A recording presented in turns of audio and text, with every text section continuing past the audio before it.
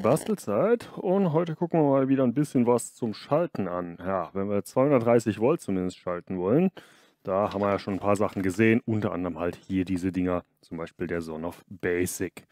Ja, im Prinzip ist das nichts anderes als ein ESP8266 mit einem Relais und ein bisschen Netzteil, das Ganze in einem schönen Gehäuse und so kann man das dann anklemmen. Aber es gibt da ein Problem und zwar, ja, es ist geschraubt und je nachdem, wie man die aktuellen gesetzlichen Regelungen sieht, darf man ohne Elektrofachkraft zu sein sowas nicht anschließen. Und naja, wir sehen ja auch hier, hier sind keine Prüfzeichen drauf. Eventuell auch nicht so dolle. Ne? Naja, ich äh, war am Rumsurfen und habe da was anderes gefunden gucken wir doch einfach mal, was das ist. Das ist nämlich sowas hier. Ich denke, inzwischen kennen die meisten Leute die Dinger. Das ist ein sogenanntes Smart Plug, also ein Zwischenstecker für die Steckdose. Damit haben wir dieses Anschließproblem nicht mehr. Und wenn wir auf die Seite gucken, hier ist zumindest mal CE und alles Mögliche drauf. Wie gesagt, wie üblich, das Ding kommt aus China. Also ich würde nicht drauf setzen, dass das wirklich so 100% geprüft ist. Im Zweifel also ein bisschen Vorsicht walten lassen. Ähm, ja, die Dinger sind ein bisschen teurer als die Sonoffs zum Beispiel. Ich glaube, der hinten, der hat irgendwie so 7, 8 Euro kosten die günstigen. Das Ding hier kostet um die 10 Euro.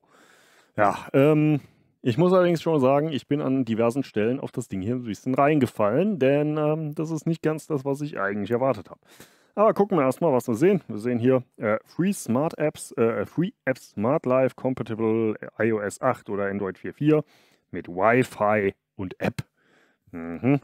Weiter geht's. Alexa, Google Assistant. Die Model Number ist leer. Ansonsten bis 250 Volt bis 10 Ampere, wobei 16 Ampere auch noch als Maximum dabei steht. Okay. Uh, Working Temperature bis 60 Grad und äh, 2,4 Gigahertz. Klingt eigentlich ja schon mal soweit alles richtig, ne? Gibt nur ein Problem. Stimmt halt nicht so ganz, denn wenn wir oben auf den Zettel gucken, der hier oben drauf ist. Da sehen wir ein Wörtchen, das ähm, passt da nicht mehr mit dem Wi-Fi. Hier steht nämlich Zigbee. Ja, das Ding hier ist offensichtlich eine Zigbee-Steckdose und nicht die Wi-Fi-Steckdose, die ich eigentlich dachte. Na gut, Zigbee geht auch. Dann gucken wir uns trotzdem an. Ich meine, für den Preis ist es immer noch eine gute Sache. Und hier sind wir doch, hey, immerhin, es ist Schuko. Also zumindest das ist richtig. Wenn wir rausholen, dann entsprechend sehen wir, wie das hier aufgebaut ist. Wir haben hier hinten den Stecker, die Buchse und ähm, ja, ansonsten nicht viel. Wenn wir hier mal rund drehen, das Einzige, was wir haben, ist auf der Seite hier ein kleines Löchelchen. Da ist eine LED wahrscheinlich dahinter und einen Knopf. Okay, haben wir sonst noch was in der Packung? Äh, nein.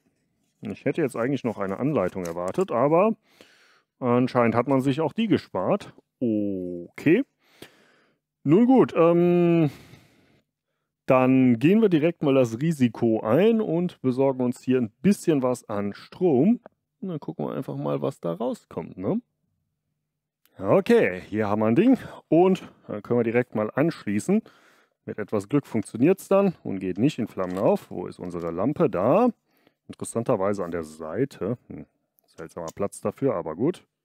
Ist der schief drin? Nein. Ich dachte gerade hier, der Rand wäre schief.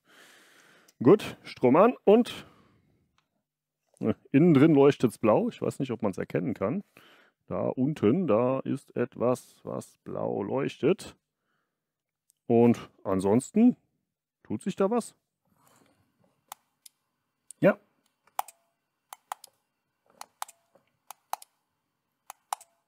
Wenn ich drücke, geht er entsprechend an und aus. Wirkt sich das auch auf die Lampe aus, die wir im Innen sehen? Mal gucken, ob ich die ein bisschen sichtbar machen kann. So, ich drücke jetzt mal. Nein, das Ding leuchtet anscheinend immer. Das kann jetzt natürlich auch sein, äh, weil das Ding gerade noch nicht mit irgendeinem Netzwerk verbunden ist. Äh, kriegen wir, denke ich, hin. So, machen wir erstmal den Test, ob es nicht doch WLAN ist. Nur weil da Zigbee draufsteht, heißt das ja nichts. Also gucken wir mal, ob sich hier irgendwie ein neuer Access Point breit gemacht hat. Denn, wie gesagt, verkauft wurde mir das Ding als ist mit WLAN und kann Strommessung, also Leistungsmessung in dem Sinne. Und kurzer Blick, nein, keine neuen WLANs in der Nähe. Gut, dann machen wir das Ding mal anders. Dann gucken wir mal, ob das Ding Zigbee ist. Äh, Zigbee, Zigbee, Zigbee. Lasst mal gerade mir hier ein Gateway holen. Ich mache das Ganze über Zigbee to MQTT. Okay, dann schauen wir mal, ob wir hier Zigbee-technisch was hinkriegen. Die Lampe leuchtet noch hier unten und ich drücke jetzt mal den Knopf und halte ihn so also 5 Sekunden gedrückt. Das hilft bei den meisten. Und okay, er blinkt. Das ist schon mal ein Anfang. Findet er auch was? Hm. Tja, er hat aufgehört zu blinken. Ich sehe aber auch kein Gerät bei mir. Okay, ich gehe mal ein bisschen näher ran an meinen entsprechenden Empfänger. Mal gucken, ob das hilft. Oder andersrum, wir holen einfach mal den Zigbee-Stick hier hin. Oder einen Zigbee-Stick. So, den hier wieder an. Hm. Jetzt leuchtet er nicht mehr. Okay. Anscheinend meint er also, er wäre irgendwohin verbunden. Aber versuchen wir es nochmal. Wir drücken und Okay, da blinkt was. Und da haben wir was. Interview successfully configured. Okay, was haben wir denn Schönes? Wir haben, ja, ein Smart Plug without äh, Power Monitoring. Hm, so viel zum Thema, ich kann den Strom gucken. Aber, wenn ich jetzt hier drücke, er merkt, dass es angeht, er merkt, dass es ausgeht, wir sehen den State, wir sehen die Link Quality natürlich jetzt ideal hier naja, ideal für so eine kleine Mini-Antenne hier. Und können wir das Ding auch steuern. Äh, lass mal gerade gucken. Das ist ähm, E264A. Nehmen wir das Gerät hier und wenn wir jetzt hier gucken, achtet mal, äh, ja gut, man, man kann nicht viel sehen. Ihr müsst mir dann einfach glauben. Ich mache mal gerade das Mikrofon da dran. Und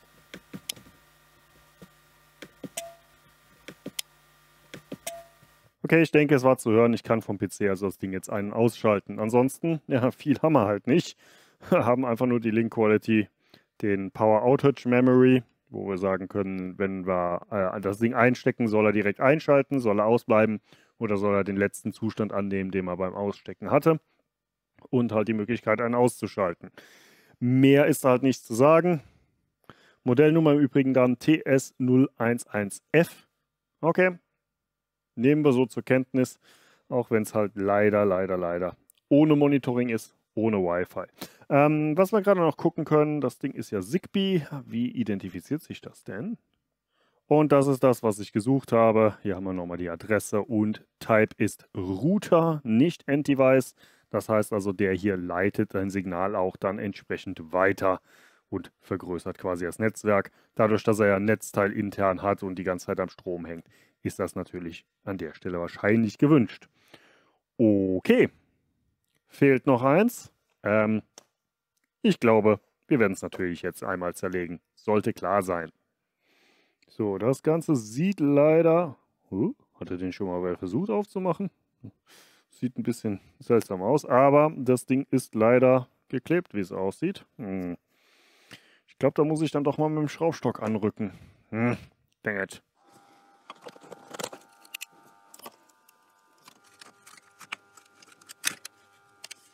Okay, also wirklich nur geklebt. Das meiste vom Gehäuse ist dann relativ äh, ja, frei, ohne alles. Hier drin haben wir erstmal nicht viel. Ja, das Einzige, was wir hier sehen, außer jede Menge Kleberresten, ist ein Fusible Resistor wahrscheinlich. Also ein Widerstand, der dient gleichzeitig als Anlaufstrombegrenzung, kann aber auch ähm, im Zweifelsfall aufgehen.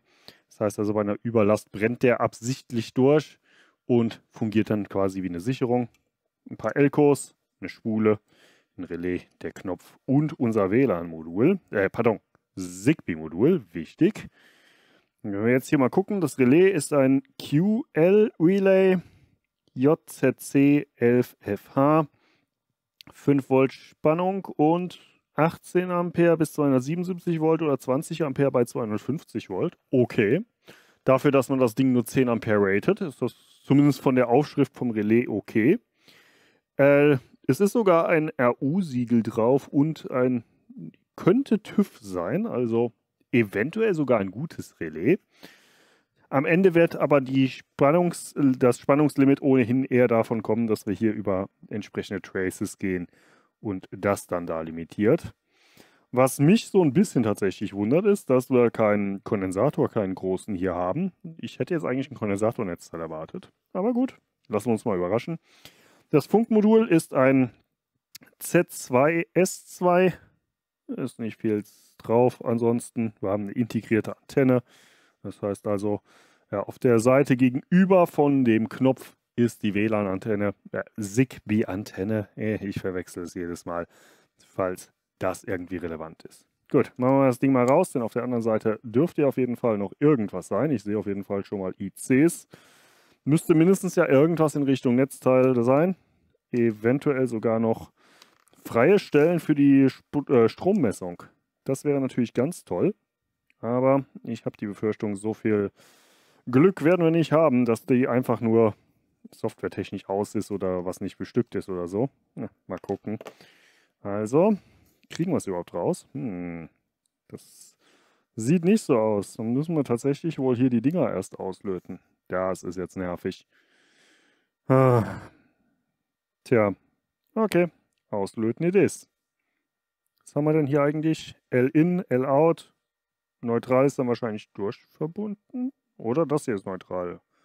Ja, da muss das eigentlich neutral sein.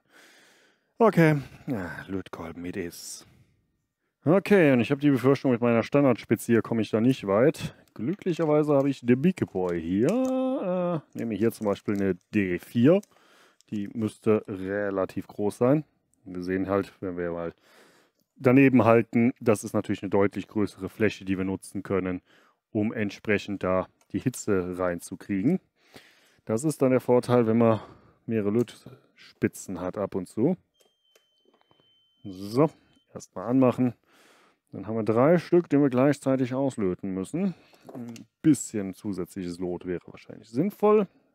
Machen wir erstmal ein bisschen frisches Lötzinn hier drauf. Erstmal, weil dann der Fluss von der Spitze da rein in die Lötstelle besser wird.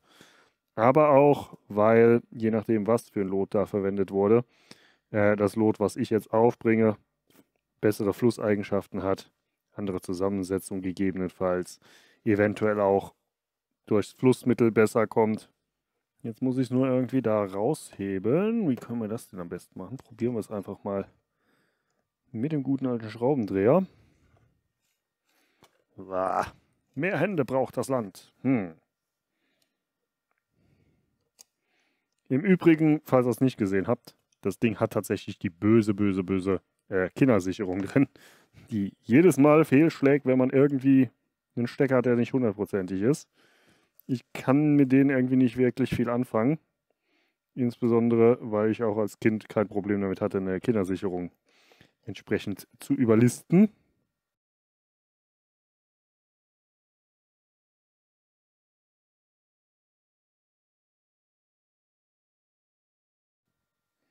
Tada, da sind wir doch. Okay, was haben wir denn Schönes? Ja, und wir haben tatsächlich ICs, aber die nicht bestückt sind.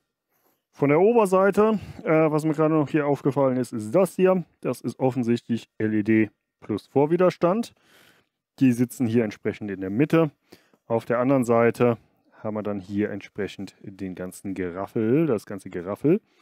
Wir haben den Schalter, okay, das ist, denke ich, klar. Und hier ICs und die sind sogar beschriftet. Hier haben wir offensichtlich den Vollbrückengleichrichter, also den Full Bridge Rectifier, der ja tatsächlich einmal von hier dem, dem wahrscheinlich ein N bekommt und die andere Seite kommt von L in.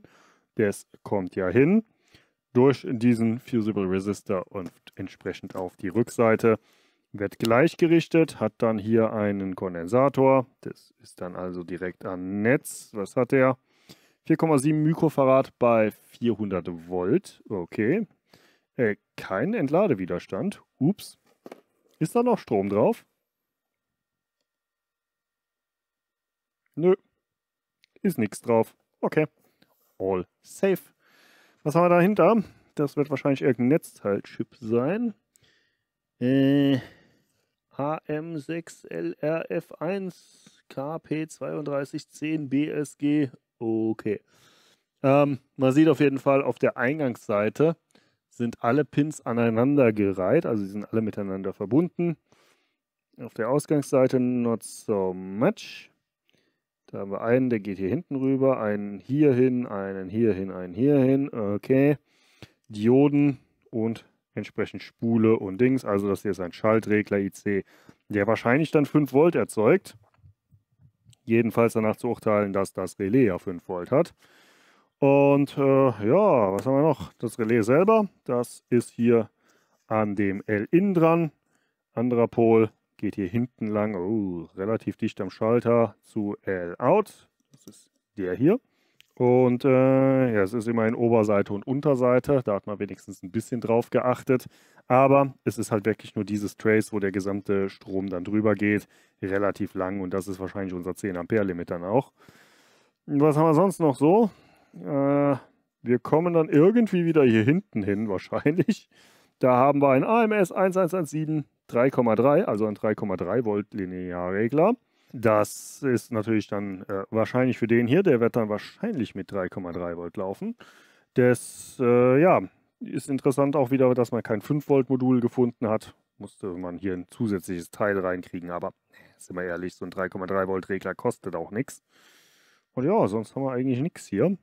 Das ist die ganze Sache da. Haben wir hier irgendwas? Die gehen hier rüber, die gehen darüber. Ja, U4, U5. Ich hätte eigentlich fast gesagt, dass das zur Strommessung ist. Aber ich sehe nichts, was irgendwie Sinn machen würde für eine Strommessung. Dann müsste man ja eigentlich hier hinten rüber gehen, müsste hier noch einen Schand haben, eventuell von hier den Widerstand abgreifen. Aber das sehe ich hier nirgendwo. Nö, also ich lege mich mal fest, dass das wahrscheinlich nicht für Strommessung ist, sondern eventuell eine Alternativbestückung statt dem Modul? Na ja, klar, das könnte sein, dass das für die WLAN-Version ist. Hm. So oder so, äh, ich sehe jetzt auf jeden Fall nicht, dass man hier irgendwie ähm, dieses äh, Monitoring-Feature für Energiemessung sinnvoll nachrüsten könnte. Falls ihr euch jetzt fragt, wieso ich noch nichts gesagt habe bezüglich Sicherheit vom Netzteil und so, ja, das Netzteil ist wahrscheinlich nicht isoliert, war mir kein Trafo oder irgendwas, sondern einfach nur eine Spule. Aber, naja, das Ding sitzt in einem Plastikgehäuse, da kann man eh nichts anfassen. Jedenfalls sollte man das nicht. Wir haben ja nur den Button hier, wir haben die LED, die wahrscheinlich, ja, ist noch nicht mal eine LED. Wofür ist denn das Ding eigentlich? Hm. Keine Ahnung, wofür der Punkt ist. Da ist auf jeden Fall nichts dahinter. Ähm, ja, und ansonsten von außen anfassbar sind halt die hier normalerweise nicht, weil die sind ja in der Steckdose. Das heißt, es bleiben nur die beiden Erdkontakte und ja, die sind Erde. Von daher ob das hier isoliert ist oder nicht, ist in dem Fall vollkommen egal, weil es nichts gibt, was irgendwie anfassbar ist, keine Kabel, die nach draußen führen oder ähnliches. Und deswegen ist das hier relativ unkritisch. Das einzig Kritische ist halt, wie gesagt, das Relais plus die entsprechende Stromfähigkeit von den Traces hier, die das Ganze dann limitiert. Wenn die natürlich zu dünn sind, dann kann das Ding heiß laufen, kann natürlich auch zu Problemen führen. Ähm, ich überlege jetzt gerade, können wir das dann können wir es im offenen Zustand auch gucken. Äh, wichtig, wie üblich, you know the drill, do not try this at home. Also bauen wir das Ding erstmal wieder hier zusammen.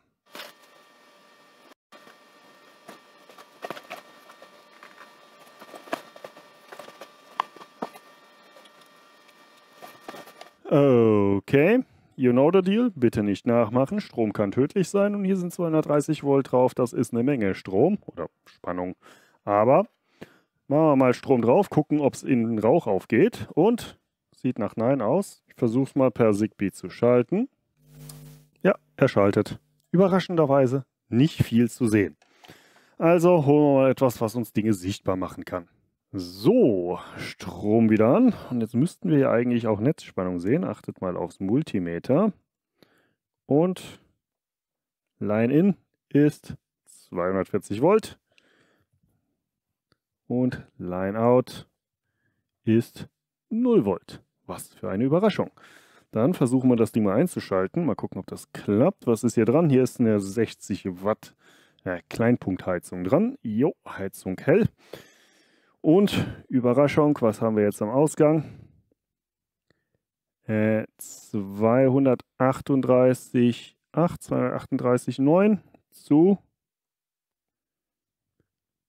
200 38,9. Also zumindest mal kein unglaublich äh, großer Spannungsabfall, den wir hier sehen. Also zumindest mal keine groben Schnitzer, wie es aussieht. Schnell Strom wieder aus, nicht, dass wir irgendwo aus Versehen dran packen. Und dann können wir das Ganze hier auch wieder demontieren. Fein. Und spielen wir noch eine kleine Runde, äh, was sagt denn der Strom? Das heißt also, wie sieht es mit dem Stromverbrauch aus? Wichtig, dass hier ist jetzt Ampere, das heißt also Blindleistung ist mit dabei, also eventuell nicht 100% genau, aber ist das Beste, was ich halt aktuell machen kann. Wir sind jetzt hier auf der 2 Ampere Range, gucken jetzt nur diesen Sonoff hier, diesen Basic. Und wir sehen hier, dauert einen kleinen Moment, pendelt sich so bei 3 mA ein. Ich kann aber warten, bis das verbunden ist. So, verbunden, 3 mA Standby-Strom. Wenn wir das Relais einschalten, gehen wir, ups, an habe ich gesagt, auf 5 bis 6 mA hoch. Okay. Ich glaube, wir sind hier sehr knapp am Rand der Messgenauigkeit. Klemmen wir mal den hier an, was der sagt. Und hm, nahe Null würde ich sagen. Und das ist auch in etwa das, was ich irgendwie erwartet habe, dass das Zigbee-Zeug sehr energieeffizient ist. Ich meine, die Dinger können teilweise ja ein Jahr, zwei Jahre auf Akku laufen, wenn man entsprechend die Dinger mit Batteriebetrieb holt. Von daher nicht ungewöhnlich, dass die Dinger im Standby wenig Strom verbrauchen. Wenn wir jetzt einschalten, werden wir wahrscheinlich was sehen, weil das Relais was Strom braucht. Und hey, Überraschung, 2 mA. Ja, also ich würde mal sagen, das ist auf jeden Fall akzeptabel, was da an Werten jetzt erstmal sichtbar ist. Wie gesagt, schöner messen kann ich nicht. Ich könnte jetzt so einen Zwischenstecker holen, aber ganz ehrlich, bei so geringen Stromwerten hier, bei so geringen Leistungen, sind die ohnehin nicht sinnvoll benutzbar. Da ist dann die Ungenauigkeit zu hoch. Aber von den Werten her würde ich sagen, dass hier so ein Zwischenstecker weniger Strom braucht als hier so ein Zwischending. Ja, also, was soll ich von dem Ding halten? Ich würde mal sagen, prinzipiell ist auf jeden Fall mal kein grober Schnitzer zu erkennen. Jedenfalls habe ich gerade keinen gesehen. Wenn es doch einen gibt und ihr den gesehen habt, bitte unten in die Kommentare. Also wir haben auf jeden Fall hier das Modul, das ist okay. Das Relais sieht auf den ersten Blick zumindest okay aus. Wir haben keine Messwerte gesehen, die irgendwie seltsam aussehen. Ich habe jetzt auch im Betrieb nicht gemerkt, dass irgendwas sonderlich warm wird. Hat zwar jetzt leider meine Wärmebildkamera nicht da, aber äh, sieht bisher alles okay aus. Auch von den Traces hier an der geringsten Stelle haben wir 3 mm, 3 mm oben, 3 mm unten sind wir bei 6. Das müsste für 10 Ampere, ja, ist nicht schön, wird ein bisschen warm wahrscheinlich. Ich hätte es ein bisschen geringer geratet oder was, die Leiterbahn halt was breiter gemacht, aber ist, denke ich, okay. Das Einzige, was man halt ankreiden kann, sind teilweise wirklich die Abstände hier. Wenn wir hier gucken, wir haben hier ja unser Trace, was direkt von L-In kommt und das ist hier ne, relativ dicht neben dem Trace hier, was die Versorgungsspannung ist. Hm. Kann gegebenenfalls ein bisschen knapp sein, also da wäre mehr wahrscheinlich sinnvoll gewesen, aber am Ende wird wahrscheinlich noch reichen. Und gerade kleiner Nachtrag noch, was mir nämlich im Nachhinein noch aufgefallen ist. Äh, eins fehlt hier aber, nämlich alles Mögliche, was irgendwie mit dem Schutz des Ausgangs zu tun hat. Wir wissen ja, angeblich sollen das 10 Ampere sein, bis zu 16 Stern. Äh, vom Relais her passt ja auch, aber wir wissen auch, das wird wahrscheinlich ein bisschen warm. Aber was es nicht gibt, naja, der Trace geht direkt zum Relais und vom Relais wieder zurück. Das heißt, es gibt keine Sicherung. Es gibt jedenfalls, habe ich nichts in die Richtung gesehen, irgendwas in Richtung Temperatursensor. Das heißt also, hier ist wirklich einfach nur darauf vertraut, dass schon irgendwie die Sicherung davor dafür sorgt, dass das Ding richtig läuft. Es ist meines Wissens nicht verpflichtend, sowas zu haben, aber es wäre auf jeden Fall eine Sache gewesen, wo ich mich wohler fühle, wenn da wirklich nochmal eine zusätzliche Sicherung ist, die dann ein Auge drauf hält, was denn da am Ausgang los ist und gegebenenfalls abschalten kann. Haben wir hier leider nicht. Ähm, ja, ansonsten es sieht auf jeden Fall nicht so schlecht aus. Man muss sich aber auch im Klaren sein, ich hatte es ja eben schon gesagt, wie sicher die Dinger am Ende wirklich sind, ist dann immer so ein bisschen fraglich, denn äh, ja, wir haben zwar auf der Packung, wo auch immer sie jetzt ist, hier unsere schöne Parade an irgendwelchen Zeichen, aber auf dem Ding selber steht halt absolut nichts drauf und normalerweise hätte ich hier mindestens mal eine Typennummer oder irgendwie das C-Zeichen erwartet. Von daher, hm, ich bin mir da nicht so sicher, ob hier die Zeichen wirklich stimmen. Oder ehrlich gesagt, ich zweifle sogar eher daran. Nur gut, ähm, prinzipiell, aber wir haben gesehen, man kann es einstecken, man kann es einschalten, man kann ausschalten. Und auch wenn der Händler mich halt übers Ohr gehauen hat, dadurch, dass es nicht Wi-Fi ist und äh, auch nicht die Messfunktion hat, die halt gerade für mich da interessant war, weil hey, 10 Euro für ein Ding, was mit messen kann, ist auf jeden Fall nicht schlecht, ist es auf jeden Fall erstmal in der Kategorie, dass es das tut, was es soll.